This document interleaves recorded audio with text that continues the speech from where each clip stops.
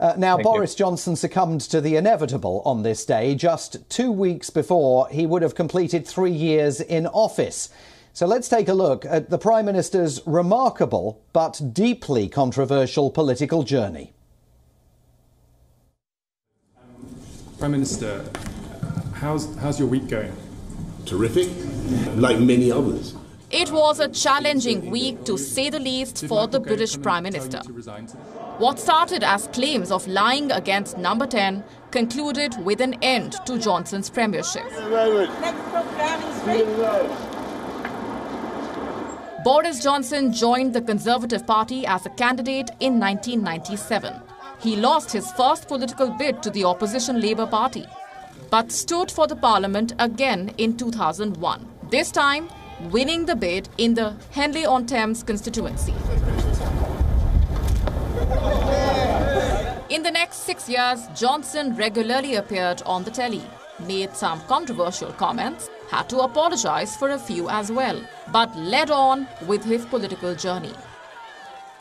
Johnson was elected the mayor of London in 2007, winning a tight race against the Labour Party led by Gordon Brown. He later served as the Foreign Secretary under Theresa May. I have to say that the Foreign Secretary is doing an absolutely excellent job. He, he is, in short, an FFS, a fine Foreign Secretary. Johnson's tenure as the Foreign Secretary also came with controversies. He found himself in a spot often, given the blunt statements made.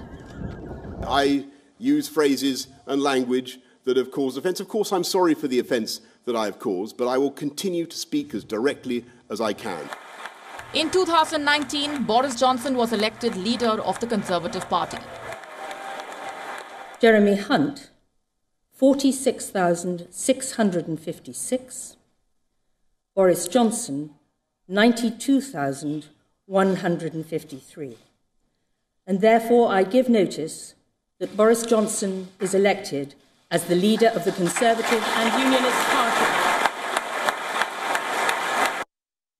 And appointed the Prime Minister of the United Kingdom the next day. I have just been to see Her Majesty the Queen, who has invited me to form a government, and I have accepted. The first thing Johnson did on assuming charge was reopening of the Brexit negotiations, a poll promise that he made.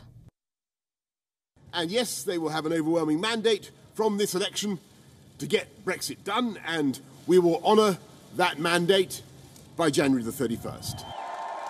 Amid several deadlocks, stalled conversations, protests, and opposition, the UK left the EU on the 31st of January 2020.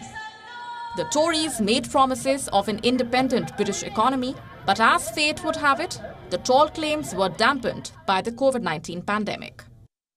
The time has now come for us all to do more.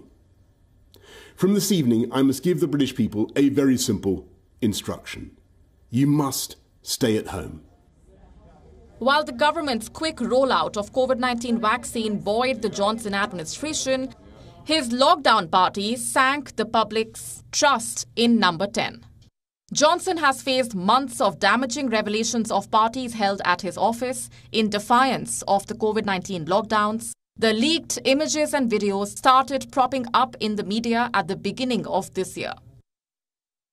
There was a brief gathering in the Cabinet Room shortly after 2 pm, lasting for less than 10 minutes, during which people I work with kindly passed on uh, their good wishes. And I have to say, in all frankness, at that time, it did not occur to me uh, that this might have been a breach of the rules. Johnson had his justifications, but they could not build back the trust of the public. Partygate was just the start of a series of scandals that would follow. Two Tory MPs were forced to quit from their seats following sexual misconduct claims. The party failed to save the seat in a by poll held last month. The final nail in the coffin was the Pincher scandal. The former Tory whip stepped down following claims of sexual misconduct. Chris Pincher had a history of such inappropriate behavior, which was conveniently ignored by Johnson while electing Pincher as the party whip. The Tory government fell like a pack of cards. Those who have resigned say that the government has lost integrity, that there needs to be some accountability, and that Johnson cannot let his personal political ambitions override his duty as the Prime Minister. Now, with history as witness, Johnson has a tainted political legacy and no office to hold on to. Bureau Report, WION World is One. There is no word from the Biden administration here in Washington yet about Boris Johnson's decision to go, but Ukrainian President Volodymyr Zelensky has paid tribute to the Prime Minister's leadership, while the Russian government is celebrating his decision to stand down. Here in the US, former President Donald Trump once described Boris Johnson as Britain Trump. And some observers here will believe that on this day in the UK, the constitutional guardrails that failed largely to protect American democracy uh, from Donald Trump's conspiracy theory believing supporters on January the 6th of last year when they ransacked Capitol Hill have in fact proved more resilient on the other side of the Atlantic. But much depends on who comes next, how quickly they arrive in Downing Street and whether Boris Johnson's departure presages a new era of stability for his party and for his country. That's WION Live broadcast from Washington, D.C. on this extraordinary day on the other side of the Atlantic.